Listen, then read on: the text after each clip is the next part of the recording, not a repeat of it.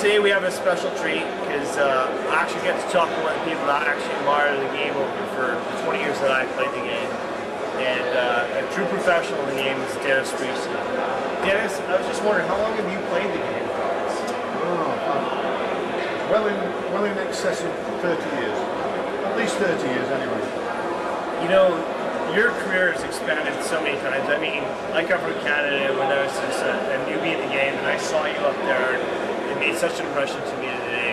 How much do you still practice the game of cards?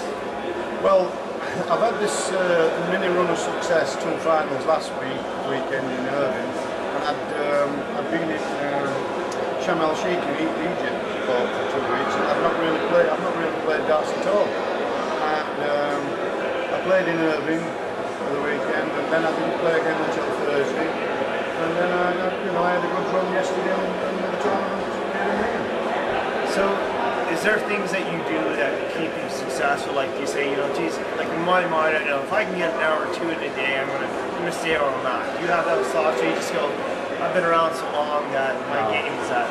No, you, you don't. I mean, I, I need to, I need to, I need to work on my game. Um, I, I'm probably half an hour before I can really uh, be flexible enough to get in a position to, to, to, to feel comfortable to play.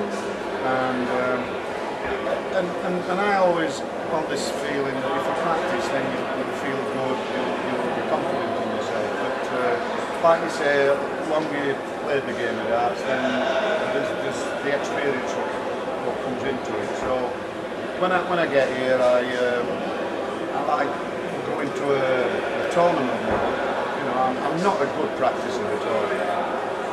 One of the questions I've been asking people is going, have they noticed a step up in the league or the level of play in the PDC over the last few weeks? It's a funny question for you because the last few weeks you just keep becoming more and more successful. But have you seen that the play is getting better? Yes, I have. I've seen a, a marked, a marked improvement. The quality, the, uh, the standard is, is far superior to, to when I started, without a doubt. I, uh, one of the other questions I asked people, like, I used to think that when I was at home watching the averages watching the thing, and they're in the A's going, hey, I'm the guy that's got the 18 dart game for my hawk. I'm an 18 dart shooter. Do you think that guy walking through the street today is going to be successful? Is that worth his time coming in? Or does he need to put the time in to get better? He's, he's got to get better than 18 darts, yeah. You've, got to be looking at 15. Definitely, if you want to keep in the competition and do, do good, you've got to be looking at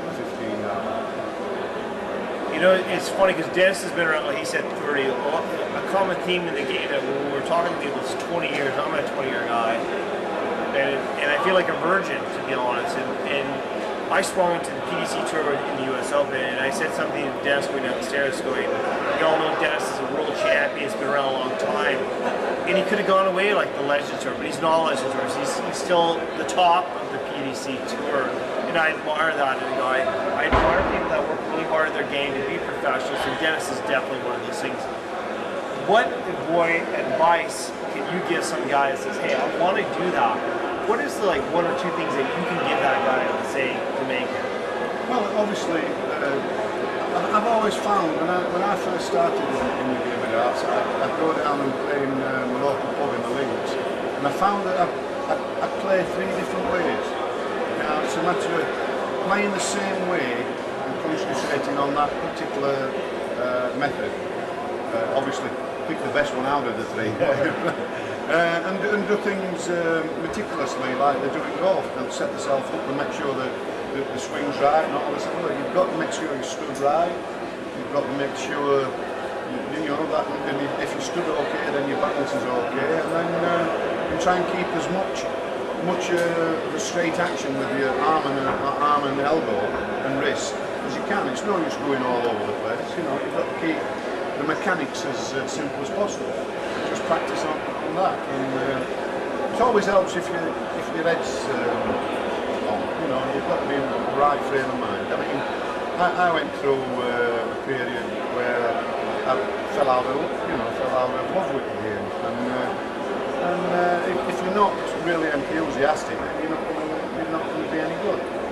I think that's a common thing that we've seen in some of the interviews lately on television people like uh, James Wade saying, Wade's a, like kind of like a phenom. Comes in, goes out, comes in, goes, oh, I'm back loving the game. And then, but we hear like true professionals like Phil Taylor say how much he loves the game, and, and, and Dennis. I mean, I think one of the things that we need to realize, as much hard work we have to put into the game, you still need to love the game to be successful. I hope you have continued success.